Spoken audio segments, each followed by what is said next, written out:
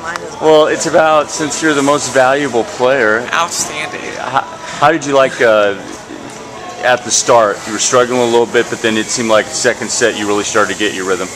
I mean, I just had to get a rhythm. Like, you know, they're a rough team and they don't really let us get rhythm. And we had to just run our own game on our own side and not let it be hectic and scrappy. Like, their side was like running the game for, I felt like, stressing us out.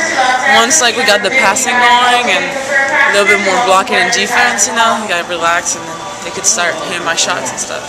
Uh, we talked about a couple nights ago. Uh, how do you feel about this team now, especially with a huge win, uh, six 0 on the season? Now you're getting a lot of momentum. I mean, it just proves my point. Like, better, just more, better chemistry. Like, I mean, it was just as hard. It's just that we were more able to fight through this time than I felt before. How do you feel about your teammate Lauren Williams?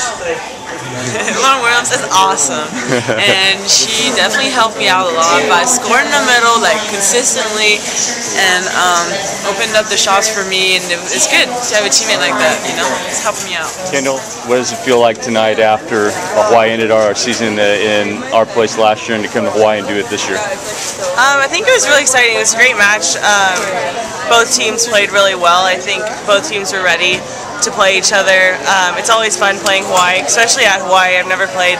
I think no one on our team has before, and it was just a really exciting atmosphere, and we learned a lot and fought through both. Um, we just fought through the entire match and did a great job. What was the team's mindset going into the fifth set? Um, I think you just have to take it like one point at a time. Um, for us, we just had to settle down after that fourth game, and we just kept going one point at a time.